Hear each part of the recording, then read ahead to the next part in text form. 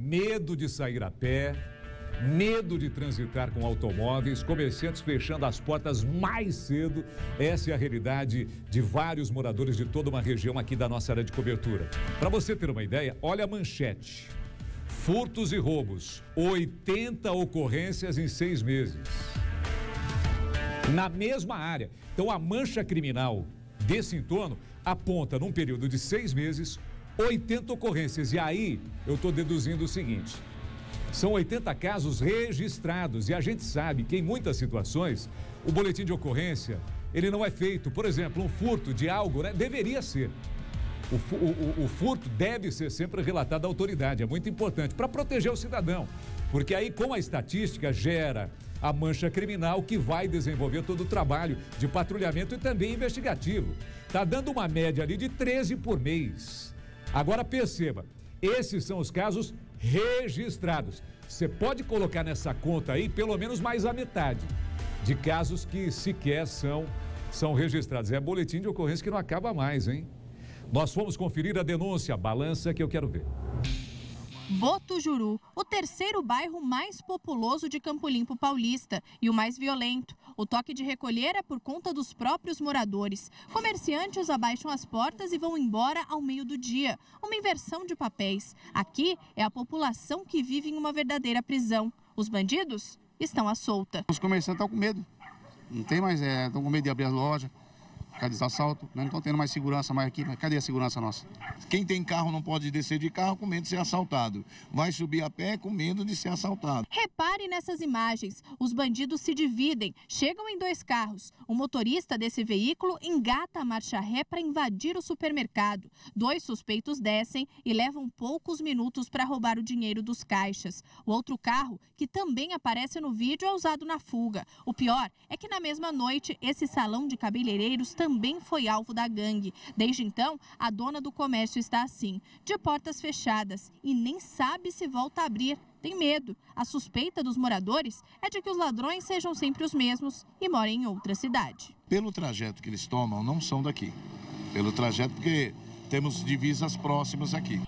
Basta dar uma volta pelos comércios para descobrir que não existe exceção. Varejão, loja de roupas, mercados, todos os estabelecimentos já foram assaltados ou furtados alguma vez. Esse dia foi assaltado o mercado Amoré, o carro entrou lá dentro da, da loja. Já a segunda vez já aconteceu com ele. O mercado Bahia também já foi assaltado com o carro dentro da loja. Lá na minha vila, no Parque Santana, roubaram dois carros sábado para domingo. A TVB Record tem acompanhado esse cenário de medo vivido pelos moradores. Há três meses, a nossa equipe veio até aqui e o problema tinha melhorado. Gerou uma repercussão total, segurança, base móvel, é, motocicletas é, da, da Rocan, até uma viatura da Rota teve presente fazendo aqui. Mas pouco tempo depois, as viaturas sumiram. Começou tudo de novo, novos ataques, novos assaltos, novos furtos, é, crianças saindo da escola é, roubando celulares, é, em, empresas e comércios que foram invadidos pelo pessoal da, da, da Marcha Ré.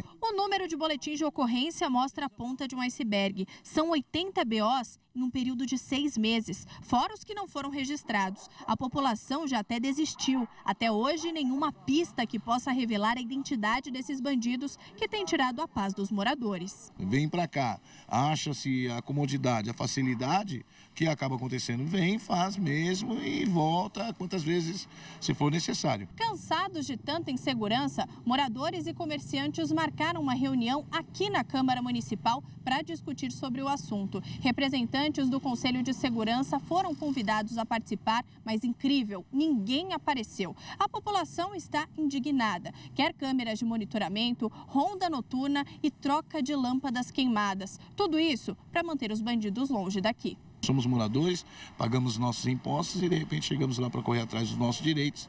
Ninguém vai, ninguém dá explicação e ficamos aí. Então o que a gente está pedindo novamente é para que a segurança é um direito de cidadão, qualquer lugar do mundo. Então que a segurança é, seja é, notória aqui nesse lugar, porque nós verdadeiramente nós estamos esquecidos. Muito bem, importante a cooperação da prefeitura. A prefeitura não é responsável direta pela segurança, a gente sabe disso. Mas é muito importante o trabalho conjunto, né? um trabalho de cooperação na área de segurança. Muito importante a Polícia Civil fazer o trabalho de investigação para saber se são os mesmos criminosos que estão apavorando, gerando essa onda criminosa. E a partir do registro do boletim de ocorrência, por isso que é muito importante fazer o registro. E na maioria das vezes, em casos de furtos e roubos, não há necessidade de ir até a delegacia, pode usar a página da Secretaria de Segurança para fazer o boletim de ocorrência eletrônico. Isso é muito importante para gerar a mancha criminal. Então, registre o boletim de ocorrência também.